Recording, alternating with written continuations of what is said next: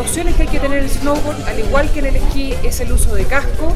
Se recomienda también el uso de unos protectores de muñeca que evitan las lesiones como fractura en el caso que se caigan hacia adelante.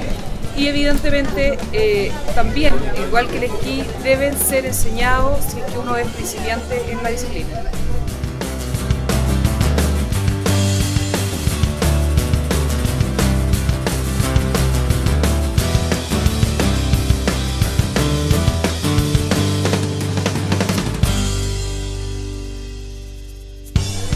Los accesorios fundamentales para practicar cualquier deporte eh, en relación con la nieve son partiendo por la vestimenta.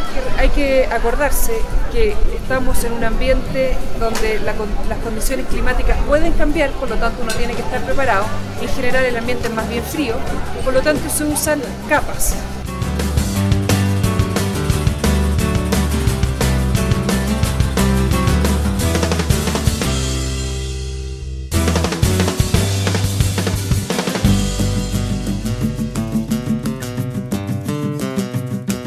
Primera capa es la que va pegada al cuerpo, que en general es delgada y térmica.